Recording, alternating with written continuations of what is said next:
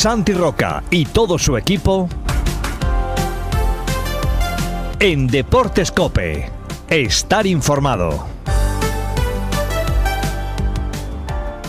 ¿Qué tal amigos? Bienvenidos, bienvenidas a este Deportes Cope de hoy lunes, después de una jornada que nos arroja el empate del Gandía en casa ante el Patacona y la victoria del Unispel Basket Gandía en casa también ante el colista el Ilicitano. No pudo el Gandía con el Patacona en el partido disputado el sábado, un encuentro que en la primera parte el Gandía regaló y que en la segunda volvió a mostrar y también coincidiendo en cuando históricamente ataca a la portería que da al campo de rugby, es ahí donde vemos las mejores versiones del Gandía. Volvió a ocurrir en este partido que contó con una buena presencia de público, aunque inferior a la de los partidos que se disputan domingo por la tarde. Esperemos que el club recupere ese horario porque es demostrado que es el que más eh, permite que acudan aficionados al terreno de juego. Un partido, como digo, que tuvo varias jugadas eh, polémicas. Eh, si seguís el espacio televisado lo podéis ver o en las redes sociales de la mano de Escobar en la acción que podría haber determinado el partido. Y luego dos acciones o tres clarísimas de gol del Gandía que no que el balón no quiso entrar. Una de Jordi César al larguero, otra acción en la que Álvaro estrelló el balón en el poste y un centro que no pudo rematar Pere Marco por poco. El Gandía que sigue al acecho de los equipos que están en zona de promoción, de ascenso a segunda red, pero obviamente cada vez van eh, perdiendo oportunidades de empalmar con esos, con esos puestos. Ha sido una semana dura, difícil y una semana que los jugadores han estado, como es lógico y normal, más pendientes de lo extradeportivo que de lo deportivo. Se ha solventado un mes de la deuda que tenían y aunque las caras siguen siendo largas, por lo menos la sensación de cataclismo se ha evitado, al menos de momento. Al acabar el partido pudimos hablar con algunos de los protagonistas. Este es José Carlos.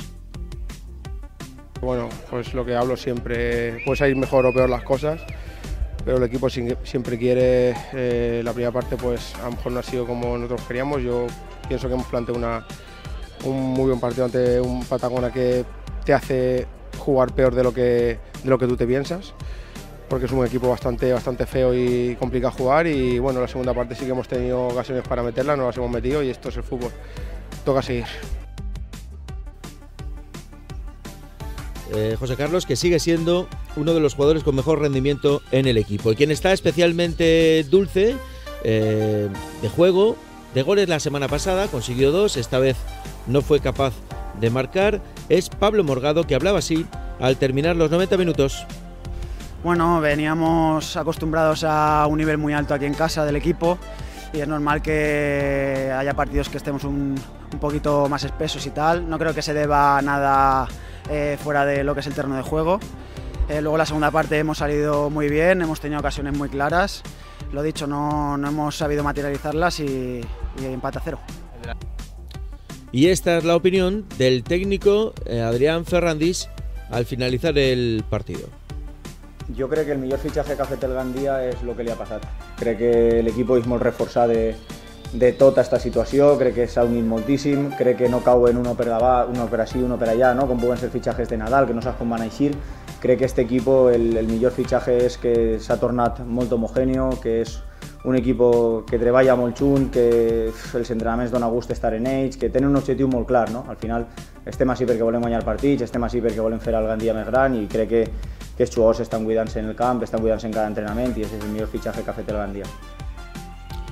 Luego hablaremos eh, en el espacio amplio de las declaraciones de Adrián Ferrandis, que en su última intervención habló de lo extradeportivo, aunque el jefe de prensa nos había pedido que no se sacara el tema. Lo quiso sacar el técnico y habló de la situación por la que han vivido o la que están viviendo dentro de, de una situación abierta tras el comunicado de los futbolistas. Luego lo escucharemos porque hay mucho que comentar sobre lo que dijo al respecto Adrián Fernández y buscaremos explicaciones o, o, aclaraciones de lo que quiso decir en su última intervención. El Gandía, además de en lo deportivo, sigue pendiente de lo extradeportivo. En el día de hoy o de mañana está previsto que se ingrese la subvención de la Federación Española y a final de mes se espera que se ingresen algunas de las subvenciones pendientes del Ayuntamiento de Gandía, la ordinaria e incluso alguna extraordinaria. Mientras tanto, en lo deportivo hay una cuestión que hay que resolver contra el reloj. Mañana acaba el plazo para poder dar bajas o tener altas. Y el Gandía ya le ha comentado a Mauro Lucero y a cualquier jugador que lo ha solicitado que no da más bajas. Que se arrepienten de haberle dado la baja a Juanma. Esto lo reconocen a Petit Comité. Juanma está despuntando como es normal en el Atlético Saguntino. Era un jugador de otra categoría y así lo está demostrando. Y Juanma pidió la baja en el momento mm, peor, mm, que la podía, mejor para él, pero peor para el club, con una bajada de ánimos generalizada, con eh, el grupo de Libero Parry, yo creo que en shock por lo que estaba pasando, noqueados, y se le otorgó esa baja. Pero el club no puede dar más bajas por una cuestión matemática. El otro día ya tuvo que entrar Joel Rubio en la convocatoria. Están prácticamente en cuadro. Y el asunto Lucero, que ya desvelamos el viernes, que había pedido salir del club, eh, ya es historia. A Lucero se le ha explicado que lamentándolo mucho no puede salir, ni él ni nadie. Y ahora el club tiene dos fichas sub-23 libres, la que ha dejado Javi Berenguer y la que tenían libre, y la que ha dejado Juan. La pregunta es, ¿debe o puede el Gandía reforzarse de aquí a mañana para encarar el tramo definitivo de la liga? La respuesta es muy simple. El Gandía, que le gustaría traer un delantero centro goleador referente y de otra liga y echar la casa por la ventana, como han hecho Acheneta, Torrent, eh, Orihuela, no lo va a hacer. Ese tipo de fichaje no lo va a hacer. Pero se está trabajando para que el futbolista o los futbolistas que vengan lo hagan a coste cero. ¿Y cómo se come eso? Pues tirando de contactos, tirando de amistades, tirando de un poco de ingeniería.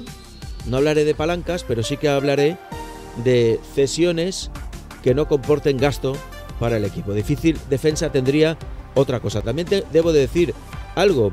El, equipo tiene que seguir compitiendo y funcionando. Cuanto más nivel tenga el equipo, será mejor para todos. Más fuerza para pedir ayudas y patrocinios y más además fuerza para que los jugadores mantengan esa justa reivindicación de eh, que se les pague lo que se les adeuda. Así que vamos a estar pendientes, estar pendientes en nuestras redes sociales, también en nuestro programa de dentro de un ratito, porque seguramente haya eh, novedades en forma, quién sabe si de algún eh, que otro refuerzo.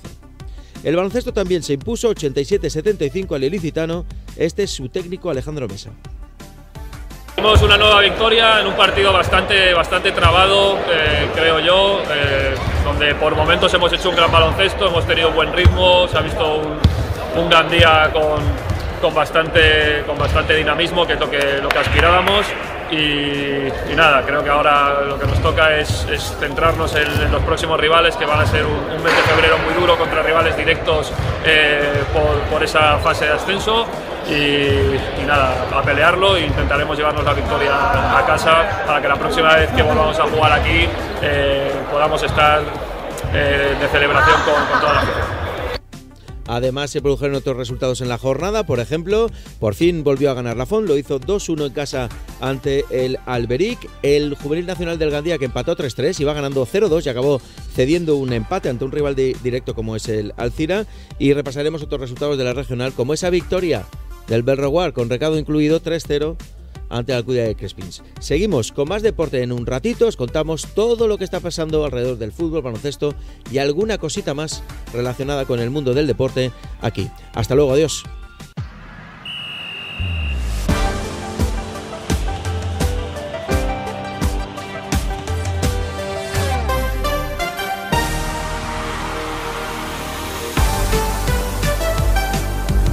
Santi Roca y todo su equipo